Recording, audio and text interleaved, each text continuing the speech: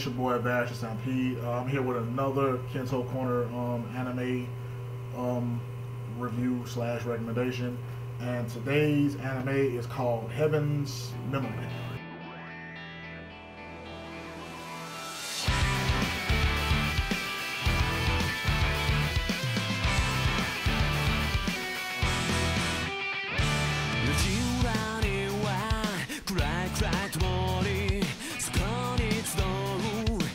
The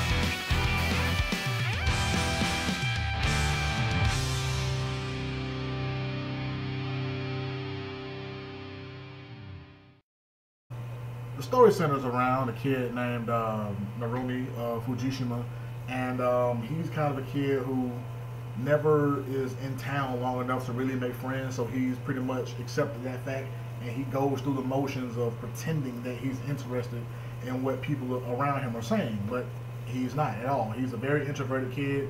He really doesn't care what people have to say in that regard, and um, he moves to this new town, and um, he just happens to stumble upon some very weird and um, eccentric shit going on, man. He sees a girl jump out of a window, and he sees uh, a man running out of a hotel with a bloody fucking ashtray, and he sees a guy with his fucking head split open, pretty much.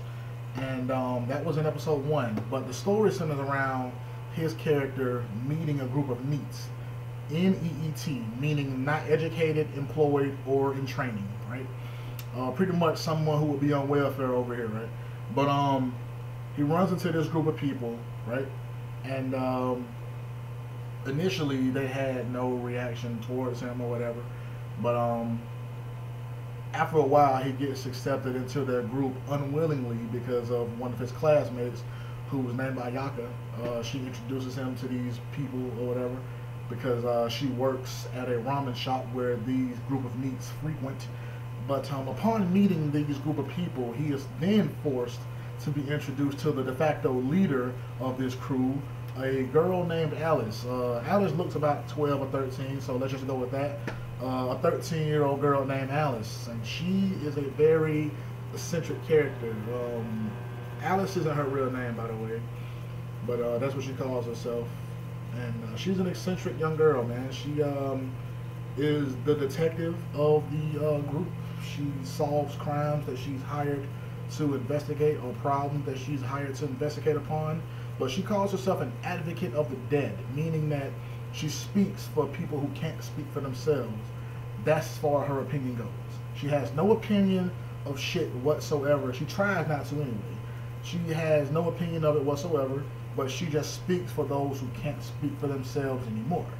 And that's basically what this show boils down to. This anime boils down to the character Narumi and how he's slowly evolving into a NEET himself. More specifically, how he's evolving into that of a comic.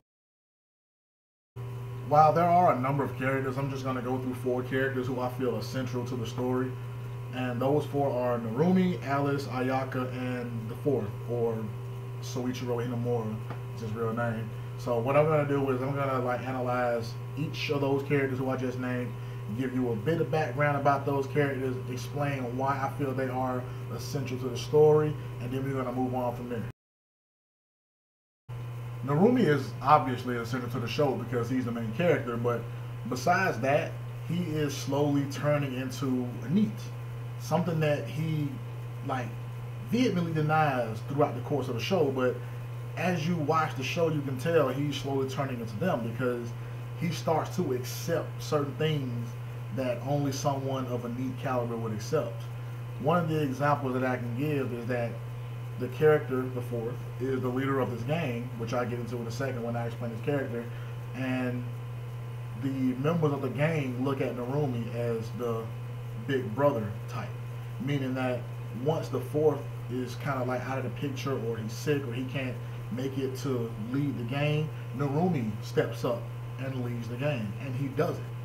You know what I mean? Like that's something that prior to meeting the NEETs he would not have done. He wouldn't have even put himself in a position to have to do that. You know, but throughout the course of the show, he's turning into a NEET and his deductive skills are like on Alice's level, but only when he's frustrated or when he's angered or something like that. Because like when he's angered, he jumps right to the correct answer, but he doesn't even realize that he did it.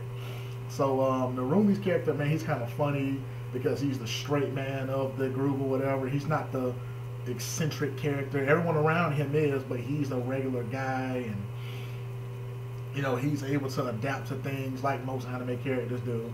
You know, but at the same time, he's still not accepting that this is what life has offered him until the end, when he realizes that this is my family.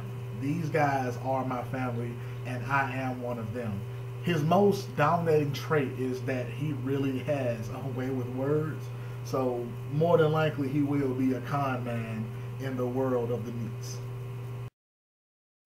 Alice is the main female protagonist next to Ayaka, and Alice is probably the most eccentric out of all the characters in the show.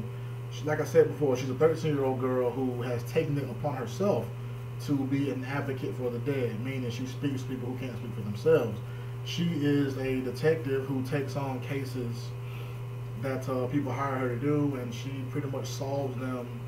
And I don't even know if she gets paid or not because it, it, was never stated that she gets paid. But I did hear a few people say something about compensation. I'm assuming that she's doing this purely out of the goodness of her heart because um, she seems like she's that type of character. Uh, you kind of get that vibe from her that she kind of not only enjoys the, the, the thrill or the like the, the rush in solving a crime, like solving a puzzle, but that she also has a, a big heart and that she wants to genuinely help people because uh, I think it was in episode it was in episode one or two. She makes it a point to uh, tell Tarumi, I mean to tell Narumi that um, she feels sorry because of the starving people in the world and you know all the crimes that are happening in the world. If only she had looked at her computer faster she would have been able to warn them or she would have been able to do something about them. So she's taking on these responsibilities of the world and she's only like a 13 year old girl. Um, her character, like I said, is very eccentric. Like uh, she only drinks Dokkaebi, which is uh, Dr. Pepper over here. Um, and she eats uh, like leek ramen noodles without the noodles or the meat inside of them. So it's just broth and onions, pretty much. That's what she eats.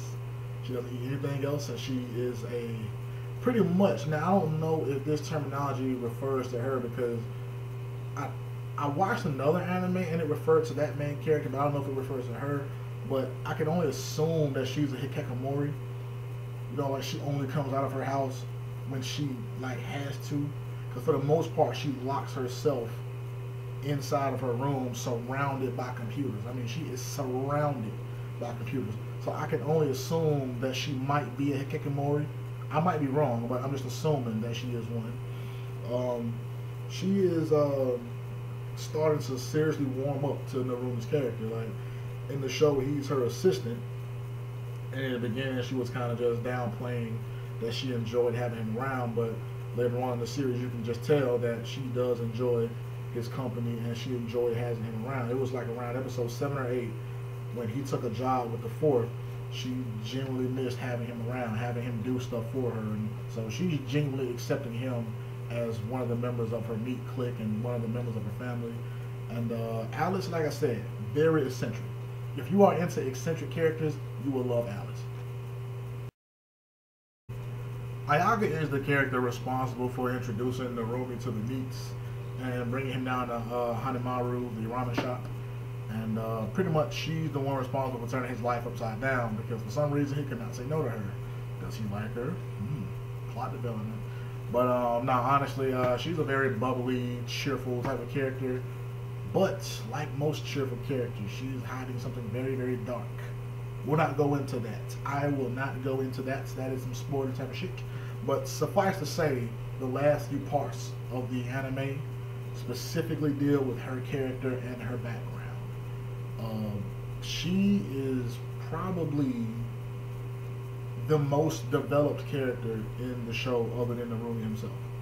So her development was really given in those last few episodes um, concerning her family and concerning her background and all that type of shit.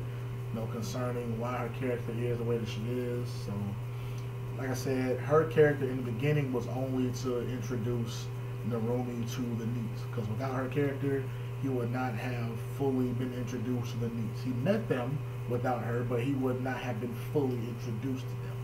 So, like I said, yeah, in the beginning that was her only role, but later on she evolved into not only his friend and potential love interest, but a character who has some very, very dark shit concerning her past and all that type of stuff.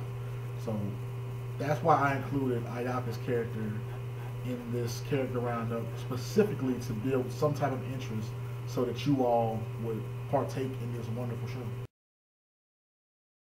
The fourth is a character who I feel is responsible for developing Narumi into a man.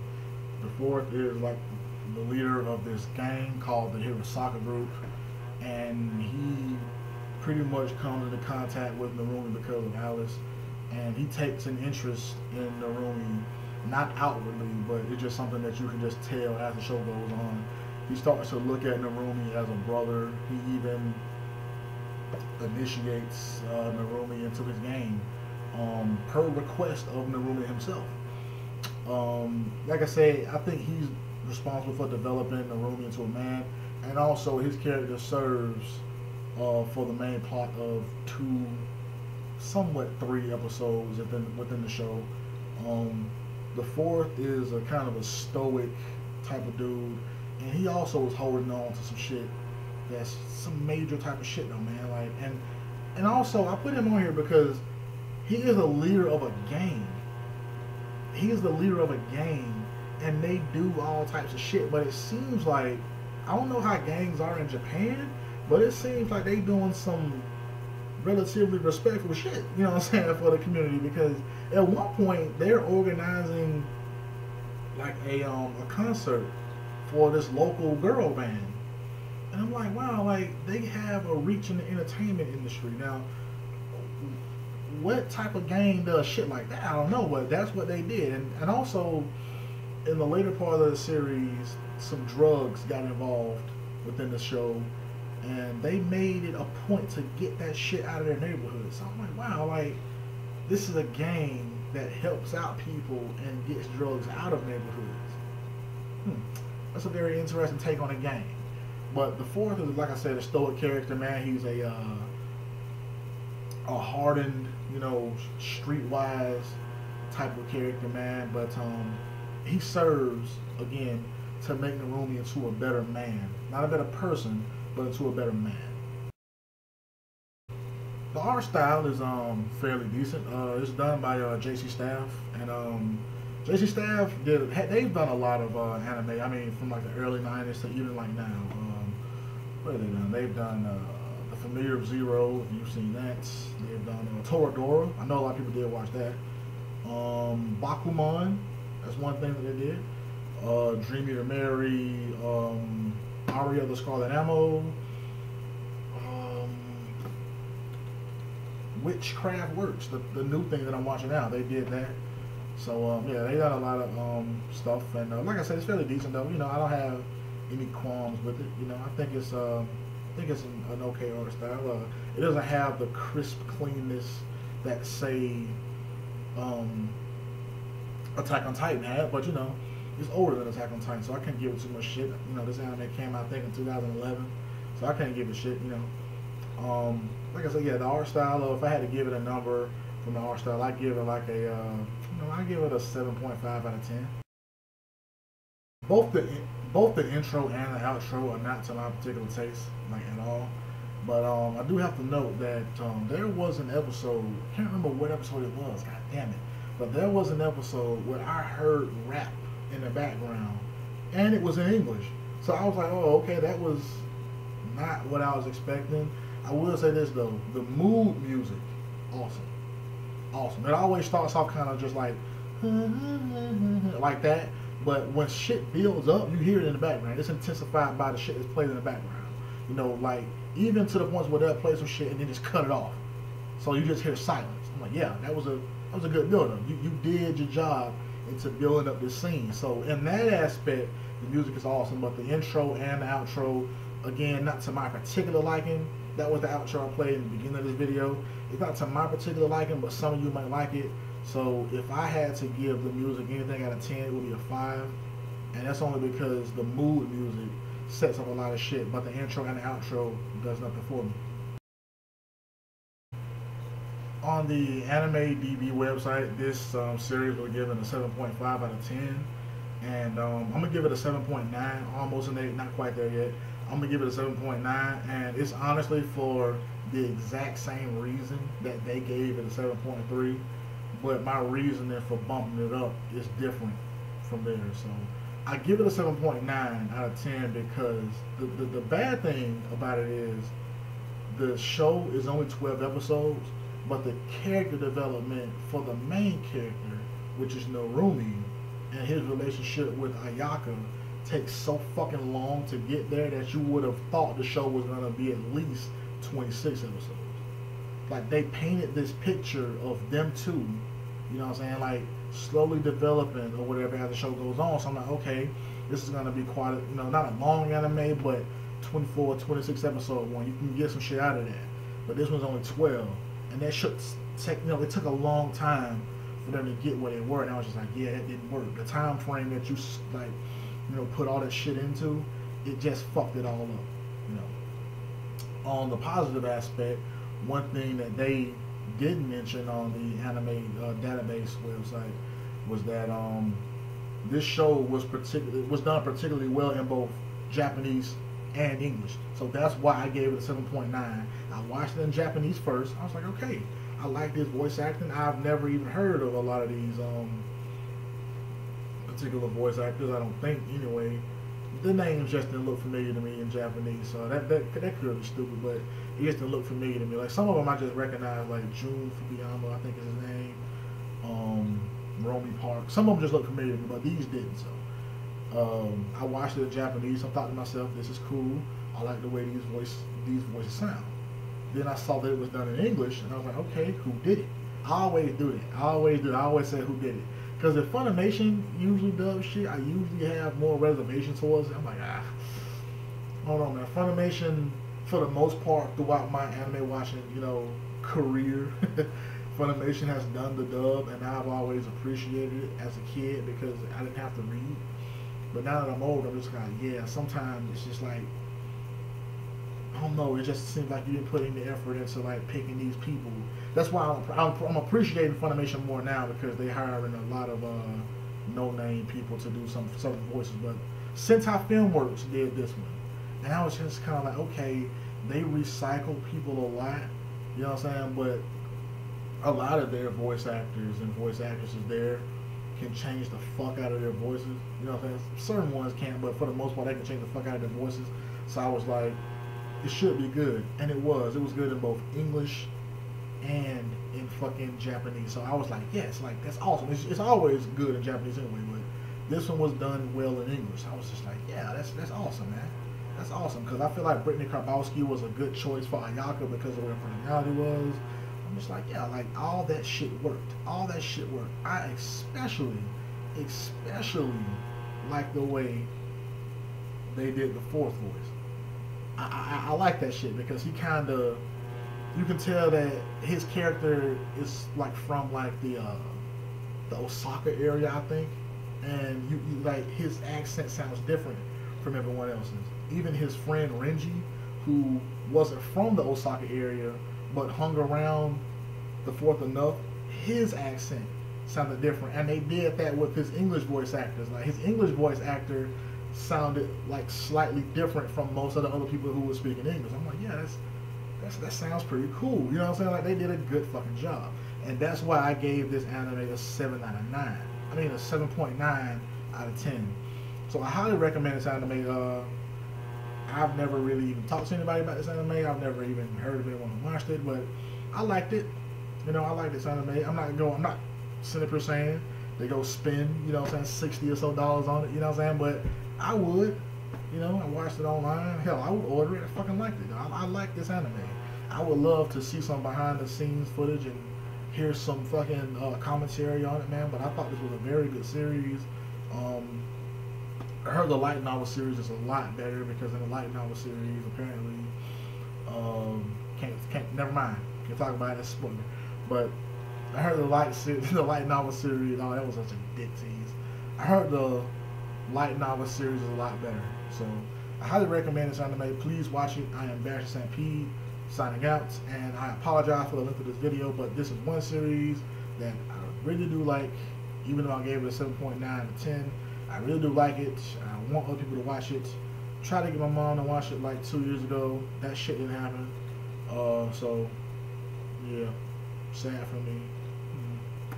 But real shit though. Please watch this series, man. Uh, just give it a good look. Vash the Stampede, man.